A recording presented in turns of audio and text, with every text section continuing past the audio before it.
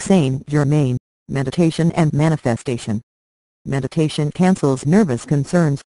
In the next weeks and months many details in my master messages are about to begin. Are you afraid? Maybe not. Are you meditating? Yes. This is probably why. Most meditators do not get concerned about anything in their awareness.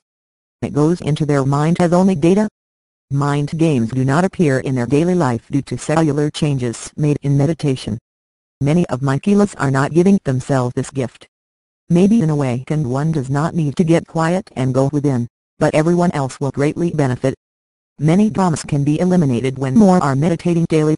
Their lack of mental activity gives many additions to the light in mass consciousness. Those not deepening their awareness with going into mind deletion daily are missing out on getting their non-awareness cleared. Some meditators do not get the most out of their meditations because they have a lot of chatter they are not ignoring. Only ignoring your mental concepts deletes them. Face the day after the meditation with a new attitude of caring.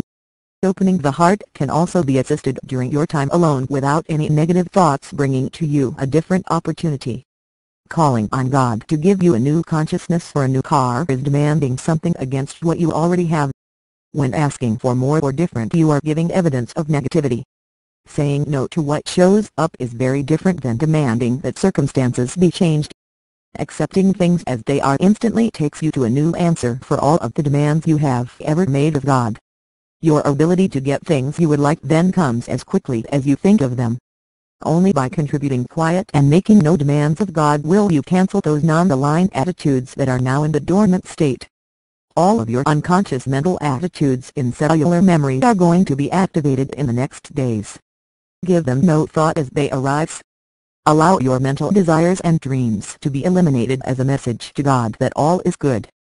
As you do this, your demonstration of great awareness will do a lot of good for those in your material world who give no interest to making a decision of this kind. As you do not get things the mind doesn't create, your desires need to be led to you in a different way. By asking you don't get them, by admiring them you can. When you appreciate something this mental attitude attracts it to you. Give away all the other manifestation concepts you have previously used because they are no longer going to bring the things you ask for. Why? To teach you that you are an actor in a drama created by you. Freedom from the asking syndrome brings new gifts you have not conceived of. Admire, appreciate, be grateful for, and give thanks and you will attract not this knot that will contract.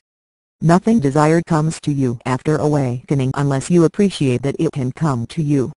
Freedom is an ability to say thank you for what is not yet in your awareness.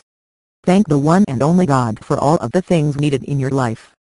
Thank them for appearing. Give more attention to giving than asking.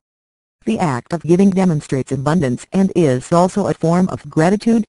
I am that I am. Ascended Master Saint Germain Website, AquariusChannelings.com